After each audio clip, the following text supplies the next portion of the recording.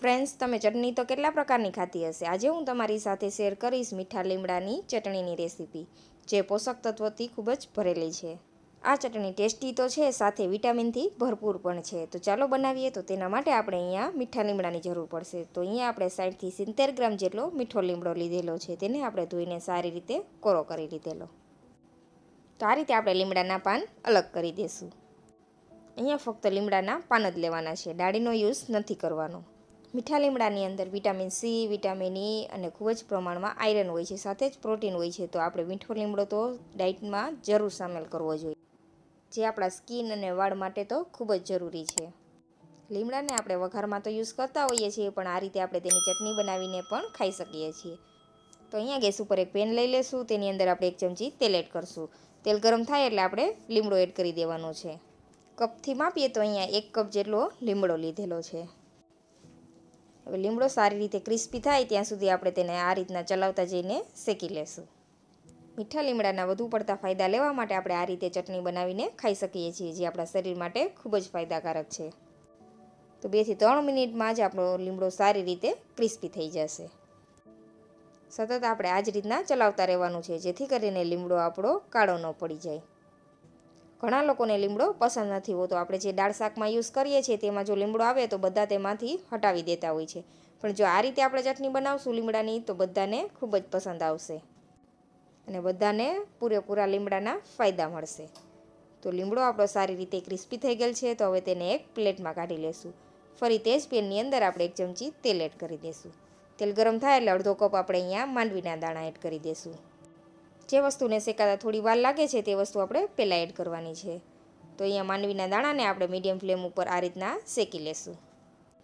એકથી બે મિનિટમાં જ દાણા શેકાઈ જશે. આ રીતના શેકાઈ જવાની અવાજ આવવા માંડે એટલે આપણે તેની અંદર દસથી બાર નંગ લસણની કળી એડ કરી દઈશું અહીંયા આપણે લસણનો કલર ચેન્જ કરવાનો નથી, ફક્ત તેની કચાશ નીકળે ત્યાં સુધી જ આપણે તેને થવા દેવાનું છે. તો એક મિનિટ માટે આપણે લસણને પણ સારી રીતે સાતડી લેશું.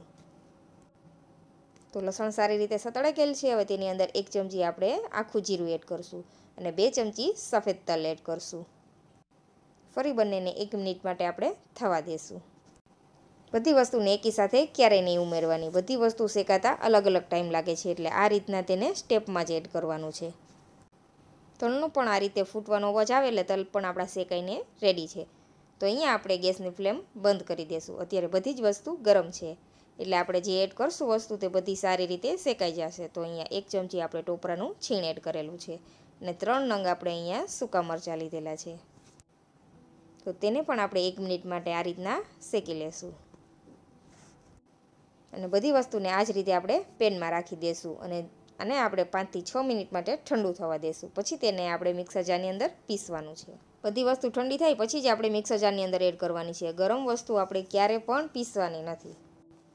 તો બધી વસ્તુ સારી રીતે ઠંડી થઈ ગયેલ છે, તો તેને મિક્સર જારની અંદર એડ કરી દઈશું અને સ્વાદ અનુસાર નમક એડ કરશું અને ચટણીને આપણે ચટપટો ટેસ્ટ આપવા માટે અહીંયા બે ચમચી આમચૂર પાવડર એડ કરી દઈશું હવે આપણે જે લીમડો શેકીને રાખેલો તે એડ કરી દઈશું પછી ઢાંકણ ઢાંકીને આપણે ચટણીને સારી રીતે પીસી લેશું. આ ચટણી થોડી દરદરી જ રાખવાની છે. ચટણી પીસવામાં આપણે જરા પણ જાતનું પાણીનો યુઝ નથી કરવાનો. આમનો જ આપણે તેને પીસવાની છે. વચ્ચે વચ્ચે આપણે ચમચી વડે આ રીતના ચલાવતા રહેશું, જેથી કરીને આપણી ચટણી સારી રીતે પીસાઈ જાય. તો આ રીતે બનેલી ચટણીને તમે મહિનો સુધી ફ્રીઝ વગર સ્ટોર પણ કરી શકો છો. આ ચટણી તમે પૂરી પરોઠા સાથે સર્વ કરી શકો છો.